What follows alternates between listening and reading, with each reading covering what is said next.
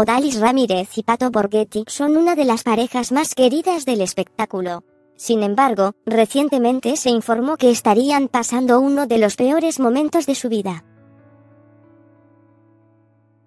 Hace tan solo unos días, Odalis Ramírez aseguró a través de redes sociales que acudiría al hospital, porque tenía sospechas de estar infectada con coronavirus COVID-19.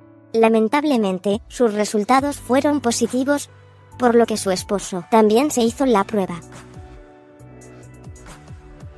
Ambos tienen coronavirus, por lo que decidieron aislarse en su domicilio a esperar para superar la enfermedad.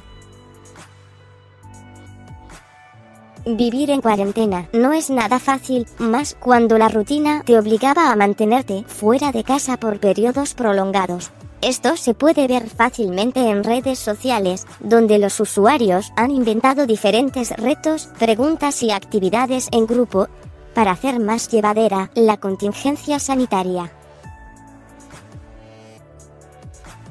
Resulta que para Odalis Ramírez y Pato Borghetti tampoco ha sido nada fácil estar en esta situación y todo parece apuntar a que entre ellos está surgiendo una crisis. Odalis Ramírez y Pato Borghetti comenzaron a tener problemas por su encierro obligado. Asimismo, aseguró que Odalis Ramírez le grita una y otra vez a Pato Borghetti que jamás lo va a perdonar por haberla contagiado. Aunque hace poco se reportó que ambos tienen COVID-19, con frecuencia comparten actualizaciones sobre su estado de salud y para fortuna de todos sus seguidores, su salud va mejorando cada día aunque todavía tienen el virus todo, indica que pronto estarán libres de la enfermedad.